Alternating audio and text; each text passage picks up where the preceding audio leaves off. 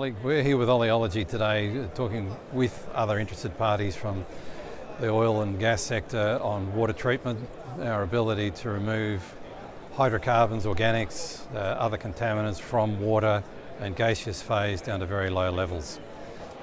So here, here we have some uh, examples of, of highly emulsified water. This is a stable, chemi chemically stable emulsion uh, from the northwest shelf uh, oil gas condensate water um, has been previously treated with chemicals, unable to break the emulsion. Uh, oleology was able to provide a temporary solution in which we can remove the emulsion via a filtration method with MYCELX, providing a water which is well and truly clear of emulsions in a visible sense, but also after being through a laboratory analysis, uh, we've been able to bring the oil detection levels down below that of uh, 10 parts per million, safe for environmental discharge.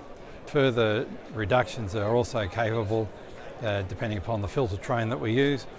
And in addition to that, in instances where oily emulsions are still evident, there is a possibility via different methods of the MYCELX technology for oil capture. So enhanced oil recovery is able to be instituted prior to the use of the polishing mechanism. Thank you.